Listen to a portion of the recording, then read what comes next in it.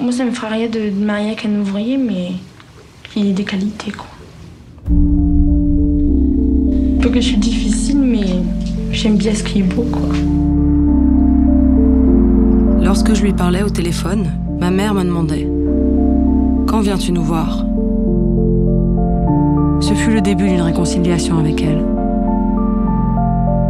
Elle me parla beaucoup de son enfance, de son adolescence, de son existence de femme mariée. Elle me parla de mon père aussi. Que pensait-il? Oui, que pensait-il du monde dans lequel il vivait?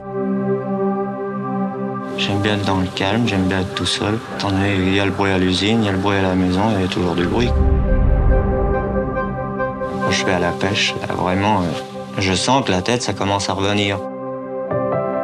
Est-ce que vous croyez que ça peut s'améliorer un jour? Peut-être un jour que les jeunes seront peut-être moins bêtes que nous, ou je sais pas.